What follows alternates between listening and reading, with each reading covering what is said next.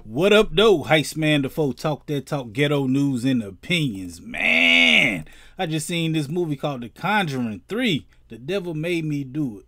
I usually don't watch scary movies because I'm a punk. I don't like scary movies, but I like that one because it has some devil stuff in it. I like the what do you call it? The element of the devil fighting good and evil and stuff. So I watch some scary movies, but this was pretty dope. I kind of liked it. This one, man. It um it's about a couple. What's this couple name? Ed and Lorraine Warren. They like modern day Ghostbusters, basically. And it's based on a true story. Um, they go around busting ghosts or something, I guess. Um, what else happened in the movie? It started off with a little boy who was possessed by a demon.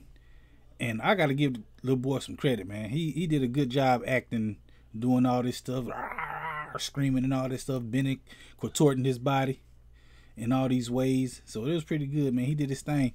But they had to get this demon up out of him, so they brought in the priest. And when they brought in the priest, the priest got the demon up out of him. He, um, he caused some havoc and raised some hell, but it got up out of him. But it jumped into his brother. And his brother is an 18 year old boy. And when it jumped into him, he later on went, probably four months, five months later, went on and killed his um landlord and he went to jail for it. He was sitting up in jail, you know, chilling, doing this thing because he in jail now from killing somebody. But he was possessed by the demon, so they trying to fight the rights and all that stuff. So the little boy, he went back home, he chilling, and he up in his water bed, and the little demon head show up in there. we like, hey, the demon ain't in the boy no more. It's in the jailhouse with the, the brother.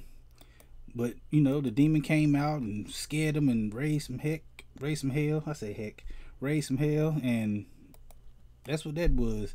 And the Ghostbusters came back in. The lady Ghostbuster, she went up under the house and she found some little skull thing. You know, some little I don't know what you call them things, man. Some kind of skull. You know what it's called, Charlene? Uh, a totem or something a, like that. yeah, a totem. It was. It was like it was a like a curse. Yes. Like a, it was a curse. That's why they put it up on the house. It was a curse. They cursed them people. Somebody cursed them, and they kept doing their little investigations and stuff, doing their thing.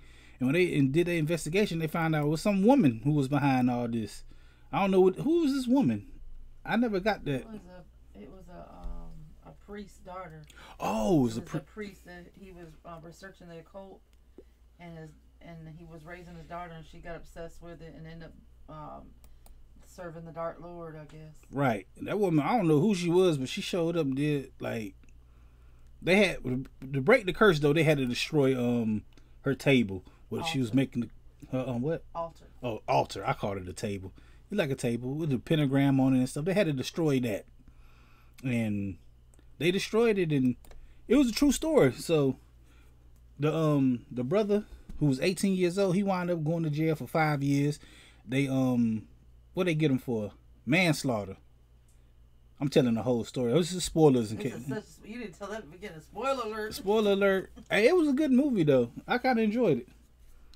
Like it was. What would you give it? I, would give it a good eight nine. Seven. I, I like the the the love conquers all theme it had. Yeah. But them real people, they Yeah, did. I Uh, love anything based on a real story. We can go back and see the pictures of the real people, and and res- and research it more. right. Well, who, who was the people? Um, I forgot. I lost my train of thought. They did something. They like they was real people. They was Ghostbusters basically.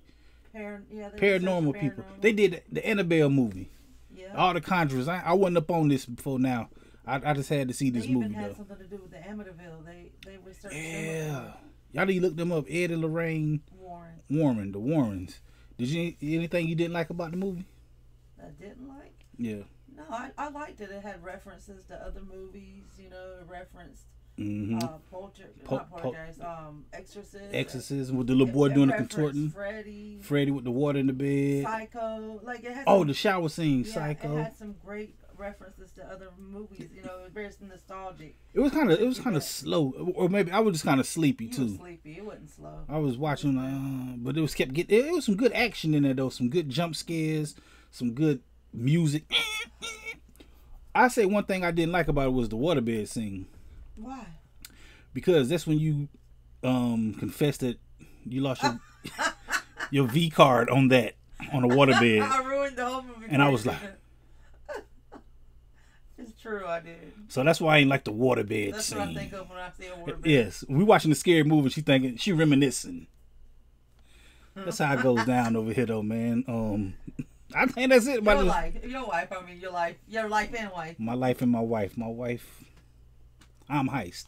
Anyway, that concludes this little review of this, man. I just wanted to chime in on it because I like this movie. Because, like I said, I don't watch scary movies. I'm a punk. I second that. Hey. Anyway, come join us on this channel sometime, man. We talk about everything. You gotta come holler at us, man. I go live on this channel every Friday at 9 p.m. Come through and holler at me, man. Um, hit that like button, the comment button, the share button, the subscribe button, the notification bell.